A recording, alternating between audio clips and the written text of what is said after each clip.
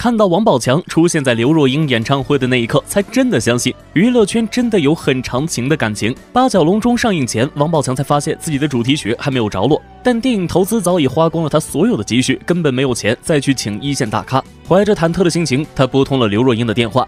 我说姐，那个这样的，我弟弟拍了一个电影，这个主题歌啊很适合你带着我唱。我说，但是弟弟没钱，真的是，我说 钱花完了，没钱了。然后我也不知道这个戏到时候会能不能卖钱，希望你可以来帮助弟弟来唱歌。听到宝强这么说，刘若英二话没说就答应了。即便违抗自己的团队，刘若英也要坚持帮这位弟弟一把。啊他说我弟这么多年从来没求过我，就这件事呢，我必须得帮，就骂我必须得帮。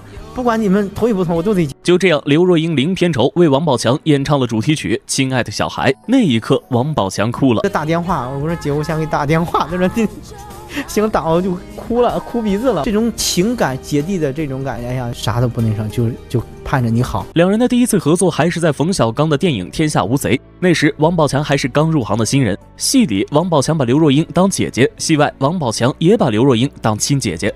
刘若英曾说，他们的联系其实很少，但是每年生日都会收到王宝强六六六的红包。这么多年，王宝强都没有缺席。刘若英说：“这叫记得，这叫有心，这叫长情。”二零零八年，刘若英来内地开演唱会，特地邀请王宝强来参加。没想到王宝强以工作太忙为由，一口拒绝了刘若英。那时王宝强已经凭借《士兵突击》爆火，这个借口也无可厚非。谁知在演唱会的那天，王宝强给了他一个惊喜，他怀抱鲜花，悄悄地出现在了刘若英身后。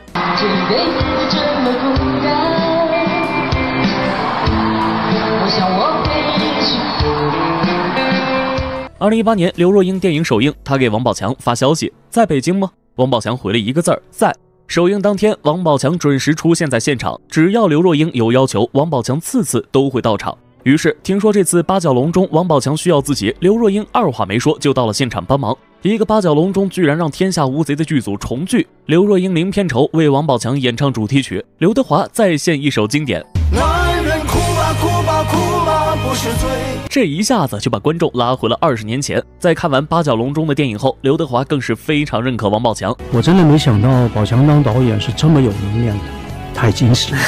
就连导演冯小刚也来到了现场帮王宝强宣传。对此，王宝强也是知恩图报，特地在台上感谢了导演。感谢冯小刚导演，让我成为傻根儿，不忘初心。直到听到刘德华的这句话，才明白为何大家都爱王宝强。真诚，你的善良都没有变。